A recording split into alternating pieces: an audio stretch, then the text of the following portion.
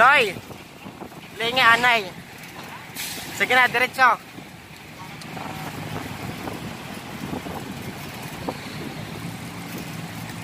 Piste.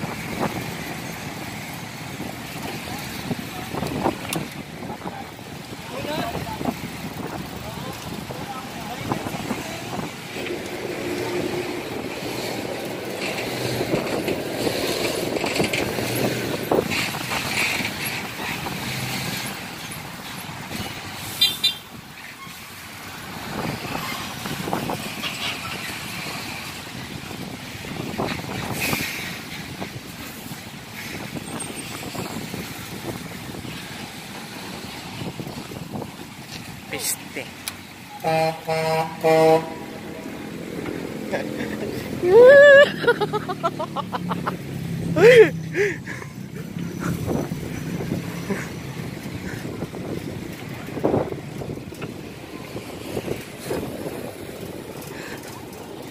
laban na.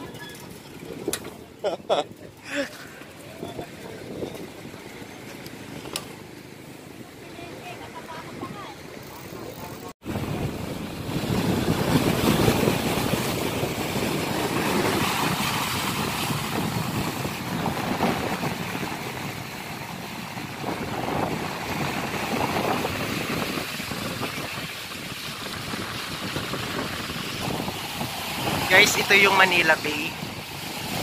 Yung nakikita yung dulo na yon. Yun ang ginagawa ng Manila City. So, September 27 is mag-open. So, ngayon, busbusan yung paggagawa nila. Kaya naman is Ford.